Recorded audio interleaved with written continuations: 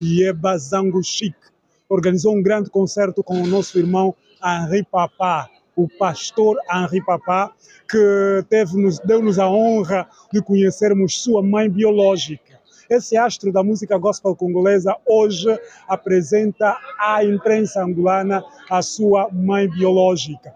É com esta senhora que a gente está hoje aqui e sentados para uma pergunta apenas. Mãe, como se sente ser a mãe de um artista como Henri Papá Mulaja? Primeiro, o nome da senhora, se faz favor. Eu sou a, a Mawini Mozalina.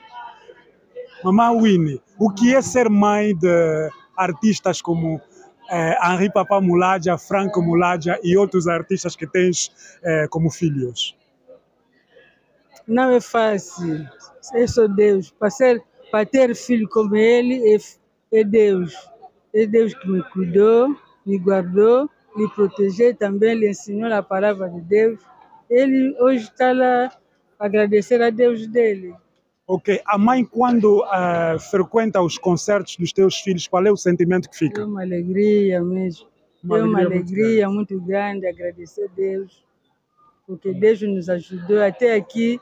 Deus está sempre a nos ajudar. Deus Ok, está sempre conosco.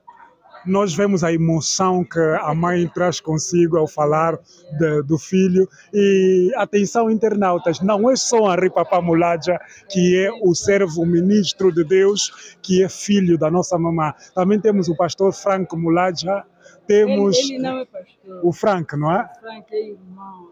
Irmão Franco Pastor Mulaja, pastor Henri, eh, Henri Papá Mulaja e mais quem? Tem também depois mulher. Tem também o irmão de Paul Mulaja. Sim, sim, sim.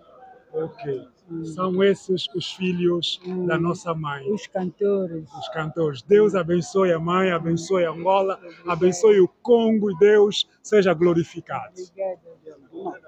Obrigada. É, sim,